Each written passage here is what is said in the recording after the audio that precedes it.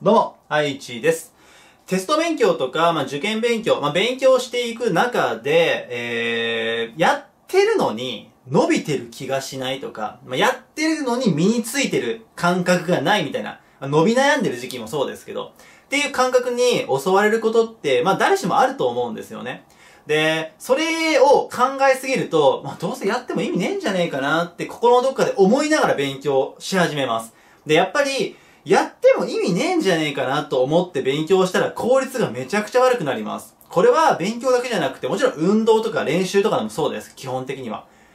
こういう風になっていこうっていう理想系の形を思い浮かべながらやるのと、いや、どうせ無理だろ、みたいな。風にやってもね、やっぱりそこは定着しないので、で、そこの考えをちょっと切り替える、まあ、スイッチというかきっかけになってほしいなと思ってある話をします。で、何かっていうと、まあ、冒頭のもね、あの、何を考えますかって、数えますかっていう話をしたんですが、よく、まあ、自分はね、寝るときに、その日頑張ったことをちょっと思い出してほしいと。だから勉強に例えるんだったら、今日何勉強したっけなって。何できるようになったかなっていうのを振り返ってほしいんですよ。できれば、あの、一回ね、勉強の時にさ、再度座って解き直したりとか、覚えた単語を、あ、そう、これ覚えた覚えた。テストしてね。オッケーオッケーオッケー。みたいな。やってから寝てほしいんですけど、まあ、そこまでできなくても、こう布団に入ってから何やったっけなーって思い出してほしいんですね。で、その、まあ、自分の一日の頑張りを振り返った時に、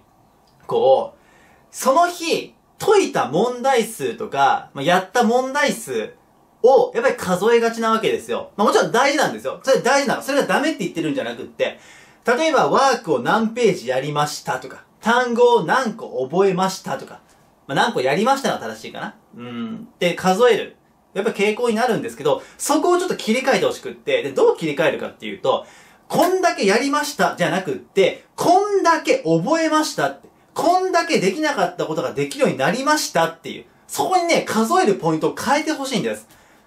で、何言ってんだって思うかもしれないんですけど、これはですね、もちろん何ページやったっても大事なんですが、勉強っていうのは、やった問題数じゃなくって、できるようになった問題数の方が大事なわけですよ。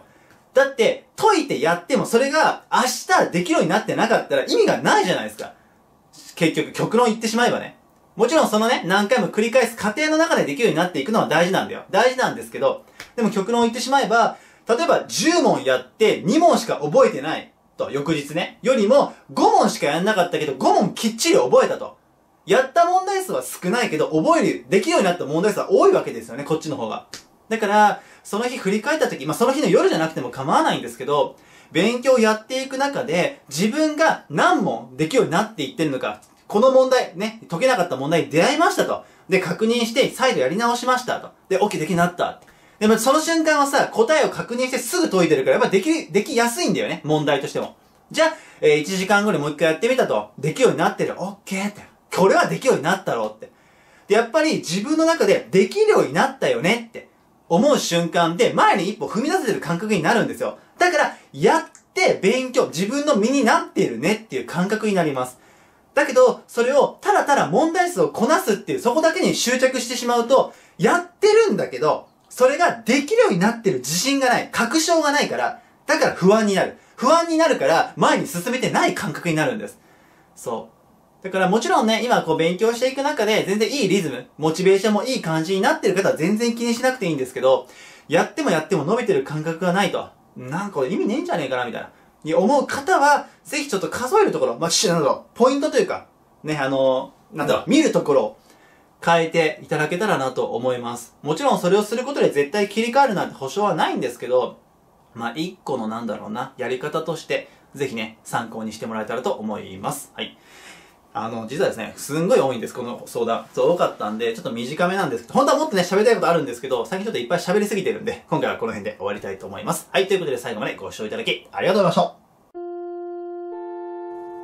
最後までご視聴いただき、ありがとうございました。えー周りの人、まあ、先生とか友達とかでもいいんですけど、に、えーできなかったことができるようになったじゃんって言ってもらうことはもちろん嬉しいことなんですけど、やっぱり自分自身でこれができるようになったよねって、えー確認してあげることもやっぱすごく大事になるので、もしよかったらね、今回の話参考にしてみてください。